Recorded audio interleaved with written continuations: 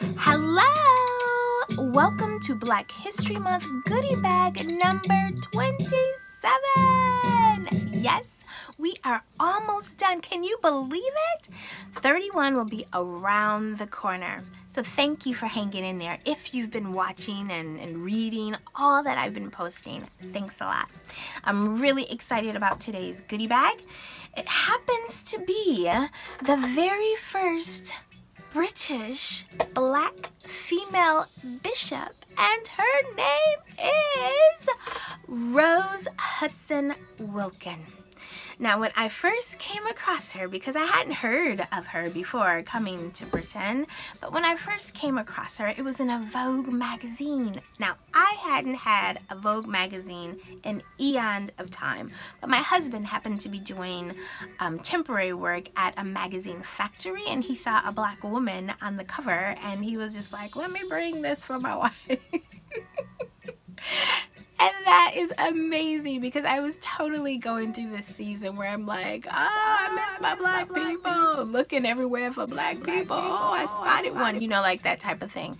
And so when he gave me this, I was just like, yes, thank you, honey. And it had this article of this woman in it. Now, first of all, that it had this, um, a black um, bishop that was amazing in itself but it was also amazing that it was in a Vogue magazine right? Like I again I said like I hadn't seen a Vogue magazine in like forever. I'd always liked Vogue because I felt like the pictures were beautiful like they were art and I, I do like fashion. I believe fashion is creative and artistic. So to have this woman in it was just amazing for me and not just that but to take it a step forward, like she was talking about Jesus in a Vogue magazine. Hello, the picture. I love the picture when I saw that we were fearfully and wonderfully made. Hello, straight from the Bible. Yes, yes. women are fearfully and wonderfully made. Black women are fearfully and wonderfully made. And that this was in a, a Vogue magazine, British Vogue. I just thought that that was completely amazing. I also thought it was amazing because she herself had written this article. She was just like, no, I'm going to take this in my own hands and I'm going to write what I want to be said. I thought that that was amazing.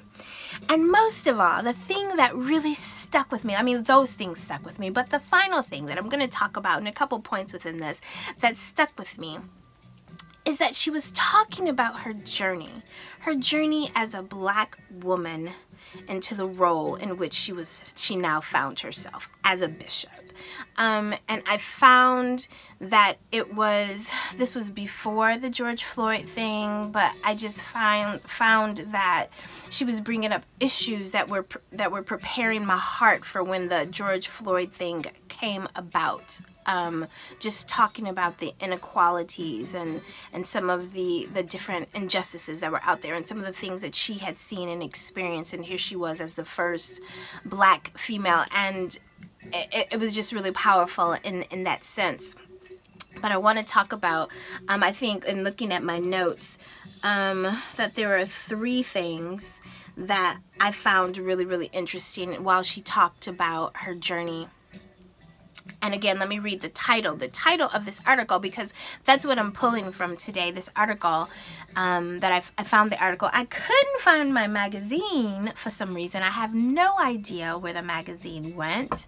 Um, I know it's in here. I know I wanted to save it, but I couldn't find it. So I had to look it up on the internet. But the title is Force for Change, Rose Hudson Wilkin on becoming Britain's first black female bishop.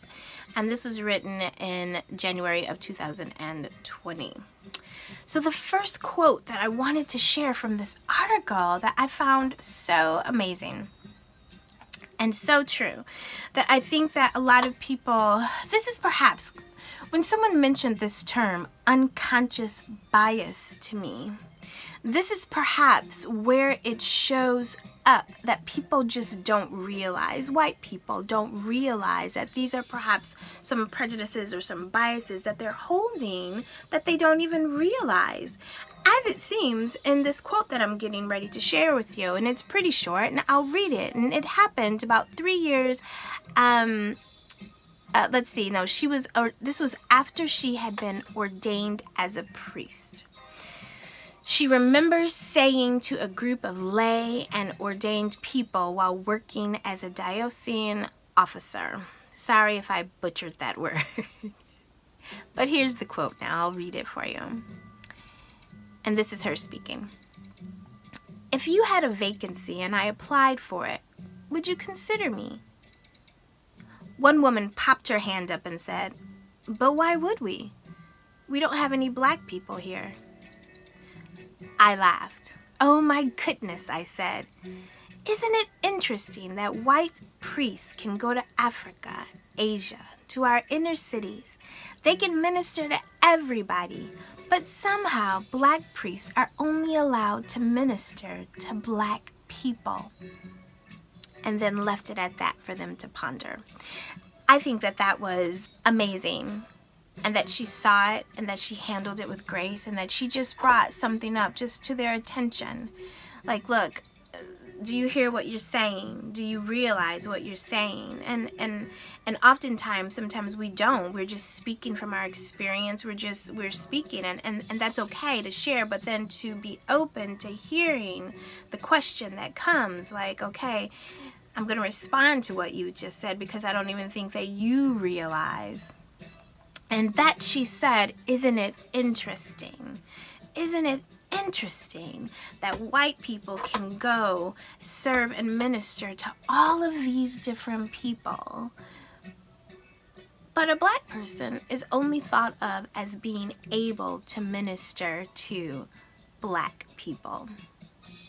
Very interesting indeed. And I hands up and clapping for her that she would able to address it in such a gentle and gracious manner. That's awesome. And when I hear the word unconscious bias, I think that that's it. That's it. And it's just being made aware of the thoughts that you have. Like, why is it? I would probably ask, why is it that only white people can minister to everybody, but black people can only minister to black people? Why is that? And number two, what I loved about the article is that she kept her eye on the prize. Yes, yes, she did. She kept her eye on the prize. She didn't need to prove herself to anyone. I love the fact that she was full of confidence. She'd been raised in Jamaica, and so she'd been raised in an environment where she saw she saw herself. She saw people who looked like her in lots of different careers. So she came over here in with confidence. And so when people looked at her and you know questioned or whatever, she knew who she was. She had confidence and she didn't let anyone steer her off her path. Awesome. Number three, and out of all of them, is the most powerful for me. Well, they're they're similar, but this is so good. It's so good. Hold on to your seats because she said people would sometimes ask her why she stayed why she stayed, why did she endure all of these pushbacks, all of these questions, all, all of these uh, dismissals, or people overlooking her, or looking down upon her, or doubting her abilities. Why did she stay? And she would reply that she stayed because she knew who called her. Hallelujah. She knew who is so good, isn't it? It's so good. God, when you know who calls you, she knew that God called her to this role and to this position, and that's what she focused on. That's what she focused on, just like Peter. When he got out of the boat and he was looking at Jesus, he was walking on that water, waves crashing all beside him. It wasn't until he started looking at the waves that he started to sink. When she wasn't sinking, she wasn't looking at the waves, she was looking at Jesus. And that is what was so important. She knew who called her, she wasn't worried about what people had to say. She wasn't. She was going for an audience of one. That was Jesus. That's what she was doing. And she knew that the call had been put in her heart from her Father God in heaven. And that is who she was pursuing. And that is why I love this article. It's all about her overcoming. It's all about her staying positive. She didn't have to like put people down. Even in the article, it talked about like one instance when she was really hurt and it broke her and she even cried, but then she kept moving. She kept moving on. So it's not that she didn't feel pain, it's that she didn't allow it to stop her from moving. And because of that, she was one of the first women to be ordained. She was the first black priest to be the chaplain to the queen and to the Speaker of the House of Commons. And finally, the first black woman to be a bishop in the Church of England, all because she kept her eye on the one who called her. Who are you looking at? Make sure it's the right person. All right. Now, I hope you enjoyed today's goodie bag. If you did, be sure to share because everyone enjoys a goodie bag. Thank you for coming. Remember to be blessed, be beautiful, and be the light. Bye.